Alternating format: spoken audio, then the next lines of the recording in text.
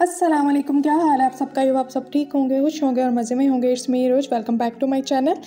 आज मैं आपके साथ एक रेमेडी शेयर करने वाली हूँ। ये जापानीज़ सीक्रेट इंग्रेडिएंट्स के साथ बनेगी और जो जापानीज़ के चेहरे पे वो जो ग्लो होता है ना, वो अब आप लोग के चेहरे पे भी आने वाला है, इसलिए आपने वीडियो को एंड तक ज़रूर देखना है। यहाँ पे सबसे पहले जो मेरा फ़र्स्ट इंग्रेडिएंट्स है और जो कि मेन इंग्रेडिएंट्स है इस रेमेडी का वो है चावल का आटा। जैपनीज़ अपने स्किन केयर में, अपने स्किन केयर प्रोडक्ट्स में चावल के आटे का बहुत ज़्यादा यूज़ करते हैं।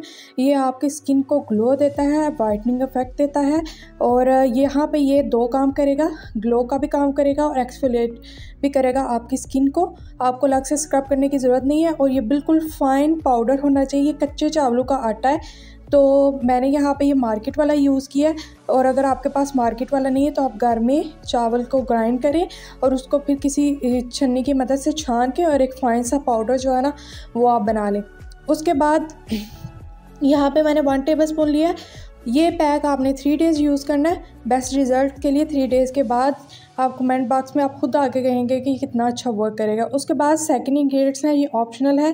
लेकिन मैं बोलूँगी कि आप ज़रूर ऐड करें। ये जिन लोगों के चेहरे पे एक्नी है वाइट एंड ब्लैक हेड्स हैं, वो इसका यूज़ करें। ये टमाटो का मैंने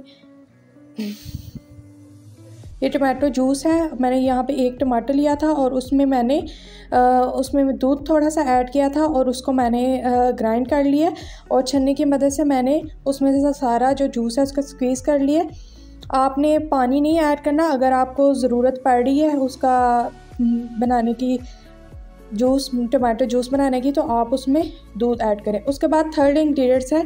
ये एंटी एजिंग फाइन लाइन्स और फ्रैकल्स पे बहुत अच्छा वर्क करती है। ये है जी हनी और ऑर्गेनिक हनी आपने यूज़ करनी है मार्केट वाली नहीं यूज़ करनी। अगर ऑर्गेनिक नहीं मिल रही तो फिर आप मार्केट वाली यूज़ कर सकते हैं। कोशिश करके ऑर्गेनिक यूज़ करें। उसके बाद इसका लास्ट इंग्रीडियंट है इस फेस पैक का वो है दूध और दूध जो है वो आपके फेस पे क्लिनजिंग का भी काम करेगा वाइटनिंग इफ़ेक्ट भी देगा। आपको पता है डेयरी जो प्रोडक्ट्स हैं, उसमें लैटिक एसिड बहुत ज़्यादा मकदार में होता है और वो आपकी स्किन को ग्लो प्रोवाइड करेगा। यहाँ पे जो चावल काटा है, वो स्क्रबिंग का काम करेगा, जो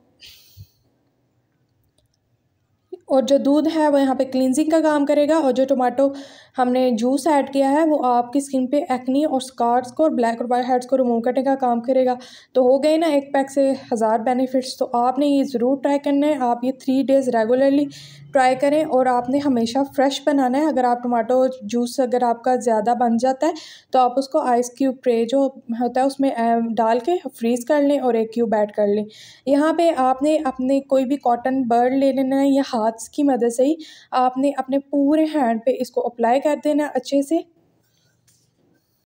और यहाँ पे आपने हल्के हाथों से इसको सर्कुलर मोशन में स्क्रब करना है अपने है फेस को और आपने हाथ को हल्का रखना है। अगर आपकी एक्नी प्रॉन स्किन है तो बहुत ही हल्के हाथ से आप स्क्रबिंग किया करें, लेकिन स्किन को एक्सफिलेट ज़रूर किया करें डेड स्किन ज़रूर रिमूव किया करें अदरवाइज़ वो आपके पेगमेंटेशन में कन्वर्ट हो जाती है और वो जाने में फिर टाइम लेती है। और आपके पोज जो हैं, उनको क्लीन होना बहुत ज़रूरी है और ये एक पैक तीनों चीज़ों पर वर्क करेगा। ये मास्क का भी काम करेगा क्लीनजिंग का भी करेगा और स्क्रबिंग का भी। यहाँ पे जी मैंने हाथ को वॉश कर लिया है और इतनी स्मूथ सी स्किन हो जाती है और टेक्सचर भी आहिस्ता आहिस्ता आपका स्किन का लाइट होगा होम रेमेडीज़ थोड़ा टाइम लेती हैं। आई होप वीडियो पसंद आई तो वीडियो को लाइक करके ज़रूर जाएगा अल्लाह हाफिज़।